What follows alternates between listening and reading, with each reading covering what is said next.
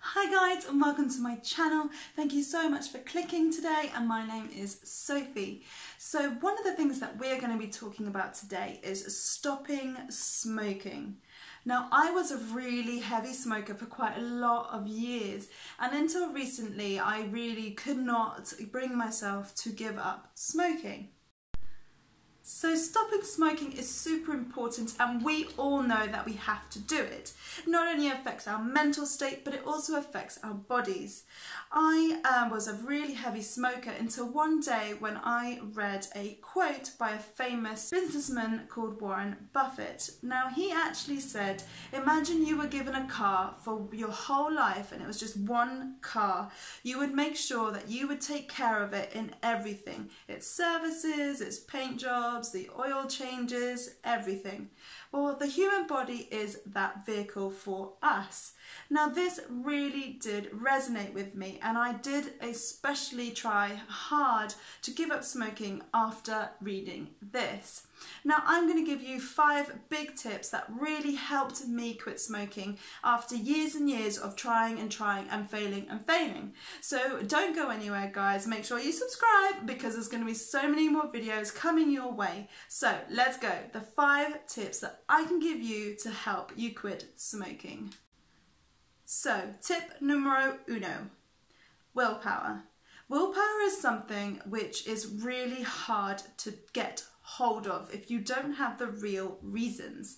Now, a lot of people say, oh, I'll give up smoking for my children, I'll give up smoking for my husband or my boyfriend or my girlfriend or my dog, and it's just not going to work. You really need to find the reason for yourself to quit smoking.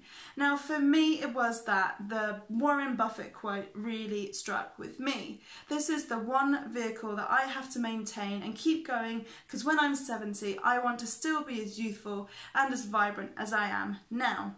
So, willpower, guys, is a super, super main one, okay? Without this, quite frankly, you will fail like I did so, so many times. So dig deep, guys. Dig deep in your memories, dig deep in your hearts, and find the willpower for you guys to quit smoking. So, tip numero dos is to get yourself onto a non smoking app. There are so many out there, and I will put down the description below of the one that I have been using.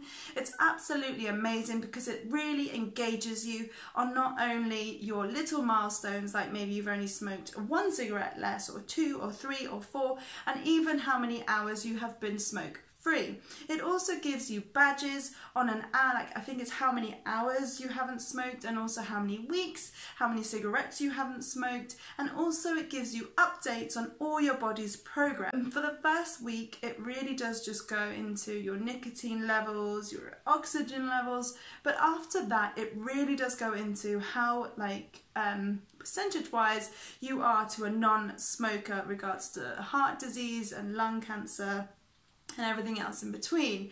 So it's super, super useful and it gives you a really good idea of how much money you are saving.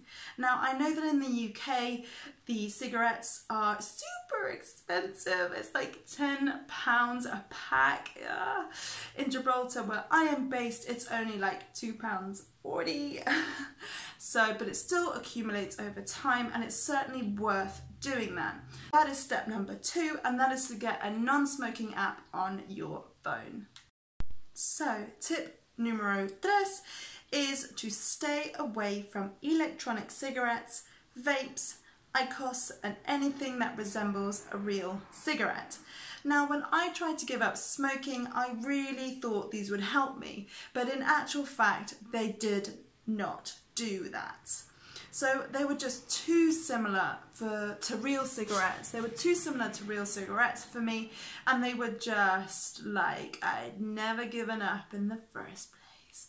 It was almost like a get out of jail free card, but it wasn't because no doubt in about a week, five days, three days time, I was back on the normal cigarettes again. So guys, my tip number three is that stay away from anything that resembles real cigarettes. Keep to maybe the gums or the nicotine patches or the sprays, but please, please, please stay away from anything that resembles a cigarette. Tip numero cuatro.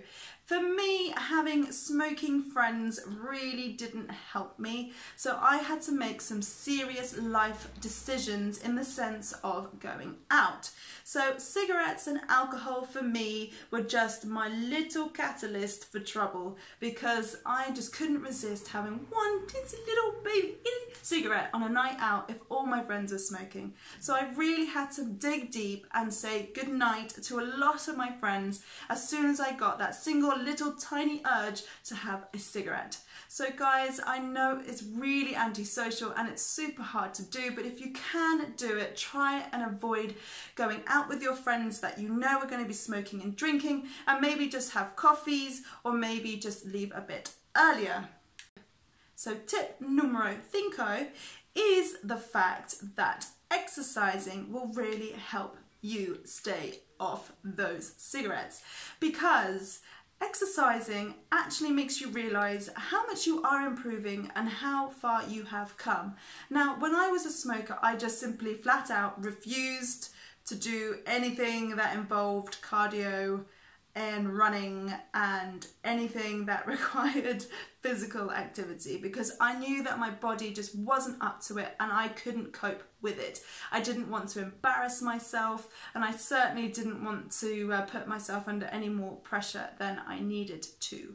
So when I actually gave up smoking at the same time I joined a gym. Now you don't have to join a gym, you can take your dogs for super long walks or you can just do exercises at home.